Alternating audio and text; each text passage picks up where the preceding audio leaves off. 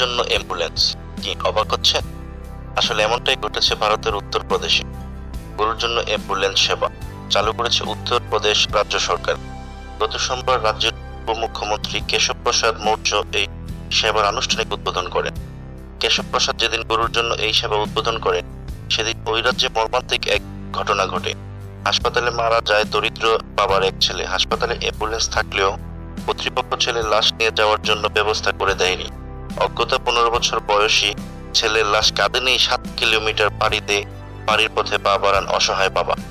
ভারতের এনটিভি অনলাইনের প্রতিবেদনে বলা হয়, সোমবার উত্তরপ্রদেশের রাজধানী লক্ষনৌয়ে গরুর জন্য অ্যাম্বুলেন্স সার্ভিসের উদ্বোধন করেন কেশব প্রসাদ মৌর্য।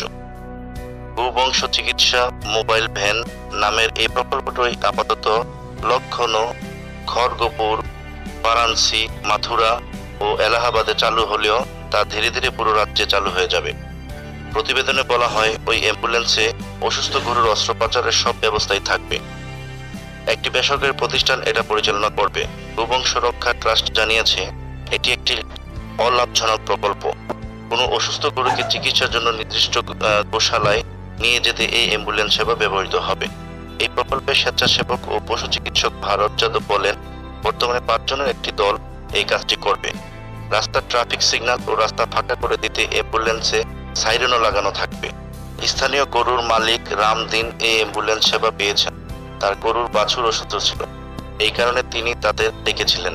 রামদিন বলেন, আমি জানি না বাছুরটি সুস্থ হবে কিনা। তবে এটা ভালো লাগছে যে বাছুরের অসুস্থতার খবর জানাতেই তারা অ্যাম্বুলেন্স নিয়ে ছুটে এসেছেন। এটা খুবই ভালো সার্ভিস প্রেসিডেন্ট সঞ্জয় রায় বলেন রাজ্যের পঁচাত্তরটি জেলাতেই আমরা এই ধরনের অ্যাম্বুলেন্স সেবা দিতে চাই। তবে এটা নির্ভর করছে আমাদের কি পরিমাণ অর্থ সাহায্য পাচ্ছি তার উপর। আমাদের লক্ষ্য অনেক দূর পর্যন্ত। আমি শুধু বলতে চাই, এই সেবার সঙ্গে কোনোভাবেই রাজনৈতিক ব্যাপার জড়িত নেই। তবে হ্যাঁ এই সেবার পিছনে আমাদের মূল উৎসাহদাতা প্রধানমন্ত্রী নরেন্দ্র মোদী ও মুখ্যমন্ত্রী যোগী অতীন্দ্রনাথ।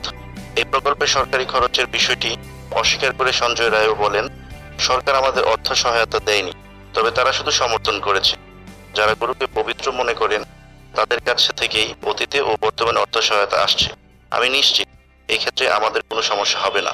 সঞ্জয় রায় আরও বলেন, লক্ষ্য নয় এ প্রকল্পের কার্যালয়ে বত্রিশ জন স্বেচ্ছাসেবক আছেন। অ্যাম্বুলেন্সের সেবা চেয়ে অফিসে দিনে শতাধিক কল আসছে।